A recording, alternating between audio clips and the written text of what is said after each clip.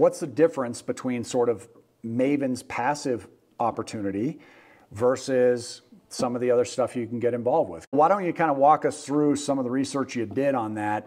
For those of you guys that like the opportunity that Michael talks about and the comparisons, and, and you lead to the conclusion that maybe it does make sense to get involved with this at some level. It does require at least $50,000 to participate. I put $100,000 into a project last fall in Baton Rouge, and I have sat it, I just basically set it and forgot it, right? This is just something that's been extremely easy for me. I signed a couple pieces of paper and sent a wire over, and it was done. If you'd like to get involved, you like the idea about it, you can email prefer at vipfinancialeducation.com, spelled just like it sounds, prefer, which stands for passive real estate flips easy returns and make sure to include a first name, your last name, and uh, a phone number. Let's go through sort of the Maven versus other investment opportunities where you can get a you know a, a, a rate of return on your money, um, and just sort of see whether or not it holds up. Yeah, absolutely. So um, across all projects right now, and this is an absolute staggering number, uh, especially since it's 100% passive like we've talked about. Across all projects at this point since the inception of this platform is 24% cash on cash. And then I'm gonna rattle off some other places where people have their money parked and just give the comparison like he said.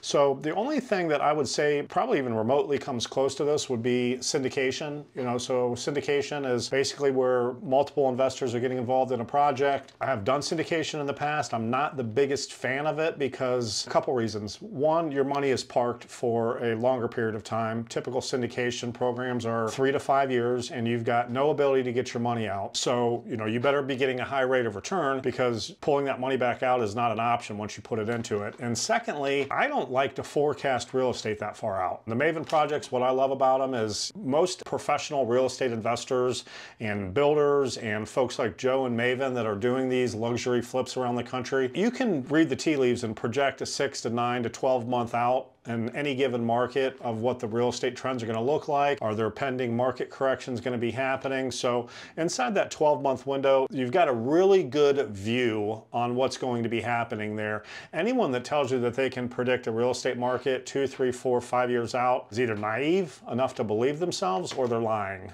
You know, so syndication, your money's sunk. You do not have the ability to turn it over multiple times. You can get good rates of return, not even the 24%. It would be less than that, but even a, you know, 15 to 17%. But again, the forecasting is what really scares me there. A lot of market corrections, a lot of different things can happen inside of a five-year window. And with the Mavin projects, you simply don't have to worry about that. If we're taking a look at real estate, which, you know, is something I love, something you love, been doing it for a long time. I've been a long-term buy and hold guy for many, many years. If you take a look at the averages for buy and hold residential annualized, if you're getting anywhere between six and 8%, you're doing great. So if you look on the low end of that at the 6%, you are, with the Mavin projects, prefer lending, you are 4Xing what you would get out of buy and hold real estate. And with buy and hold real estate, you've got your money sunk. So if you're going out and you're buying those properties, you're undoubtedly going to have a down payment. So uh, there again, yeah, you're going to have 20 percent gobbled up no matter what, just debt equity. Yep, and you're and it's just going to be sitting there until you ultimately, if you decide to sell the house. On the high end of that, at the eight percent, which you're knocking it out of the park, the Mavin Prefer lending project is 3x that. If you're looking at buy and hold commercial real estate, you are doing really well if you're getting 9.5%. So if you're at the top of the range there at 9.5%, you're still just shy of 3x. If you use an annualized with the Mavin projects, it would be about equal at 28%. It would be a 3x what buy and hold commercial real estate would be. Another would be REITs, so real estate investment trust. Very popular, nice rates of return. If you're getting anywhere between 8 and 11% on a REIT, you are doing really, really well. So let's take the high end of that range at 11%. The Mavin Prefer projects are 2x plus what your uh, rates of return would be on a REIT. And a REIT, again, you're going to have your money sunk for a while. It's not in and out in six to eight, 10 months. So there again, your capital is going to be deployed and you cannot expect it back anytime soon. Short-term rentals, we've talked often about STRs here on the channel. We both own some. You you actually uh, took yours off the market and decided that it wasn't necessarily for you anymore. But if you're doing STRs, which a lot of people are still, you know, super bullish on those right now, I'm a little bit more bearish. I think you are as well. If you're getting a 10% rate of return annualized on those, you are doing excellent. So again, the Mavin Preferred Lending platform would be 2.4x what you would be doing if you were crushing it in an STR. And again, on an STR, you are having to at least put that 20% down. On an STR, it's usually more than that. You know, most of the time that's going to be a different type of loan that's going to be particular to short-term rentals. There's only a handful of lenders that will go out there and, and lend on those projects. So again, you're sinking 10, you know, 20 to 25 percent uh, into that house until you decide to sell it. So of course you're not continuing to turn that money over or able to pull it out and to put it into another investment class. Yeah, and I, I mean to that point too, let's not forget that you're building a business.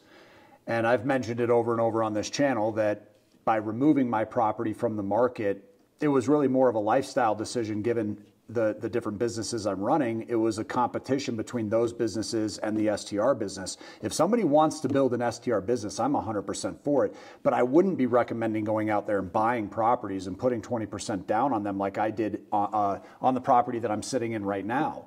It cost me almost $250,000 when it was all said and done to put the down payment and do all the decor and amenities and and uh, furnishings and and upkeep on the property. Every appliance needed replaced. The well pump needed replaced. It just the list went on and on and on. But it still made me almost a quarter million dollars as well. It was definitely a good venture, but keep that in mind if you're considering the STR space. We would always recommend looking into more of the partnership model, like Michael and Katrina's model, than what I did. I've always said that I think I did it wrong after discovering what they were doing, and I would have no problem getting back into STRs. I definitely think it could. You could still be you could still be bullish on it and and be right, um, but it's it's not like Mavin where you just sit back and wait for your check.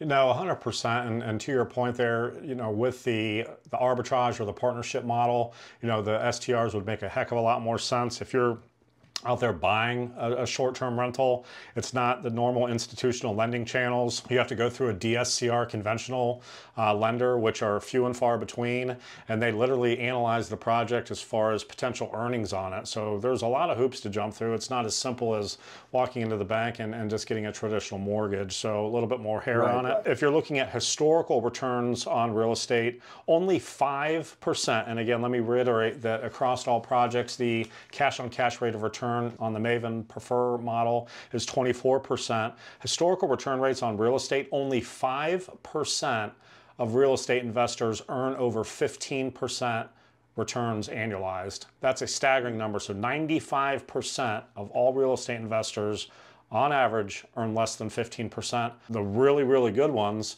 are 10 to 12%, and the average would be closer to 8%, 7 or 8%. And then they're still happy with those rates of return. The housing market, 30 year average, 5.4% annualized rate of return.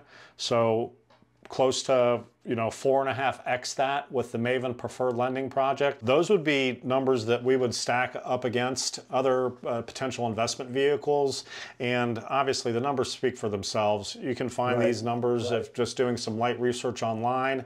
These are not just being pulled off the top of my head, and obviously we've analyzed each one of the projects that we've done with the Mavin preferred lending model, and 24% is the number.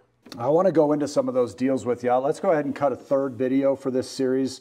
Like I said, I think that'll just make it a little bit easier for people to digest these. So we'll link all of those together in the description so you guys all have access to it. But would love to come back on and go through some of those projects. But that's very interesting information. Very much appreciate uh, the effort you went through to to uh, put that together. I think it at least demonstrates getting some money into Mavin would make a lot more sense than just ignoring it altogether. It's not about all your eggs in one basket or another. And I think, again, we agree that diversifying is going to be a smart move. Regardless, uh, it certainly seems to top the list when you when you break it down that way. So appreciate everybody tuning in. Michael, thank you for your effort, guys. Come back for the Uh, sort of property review video, we'll get into some of the projects, and I'd like to have Michael break down two specifically into more detail so that you guys can kind of see uh, exactly how things are unfolding. Again, if you'd like to get involved and at least join the waiting list, there's no obligations. You're not going to be spammed. We won't sell your information.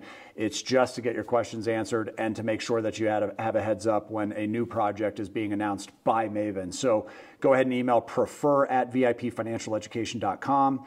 Email will be in the description for you too to make it easier and include a first name, last name, and phone number. Guys, we'll see you on the next video. Until then, make it a great day and keep on cash flowing. See you soon.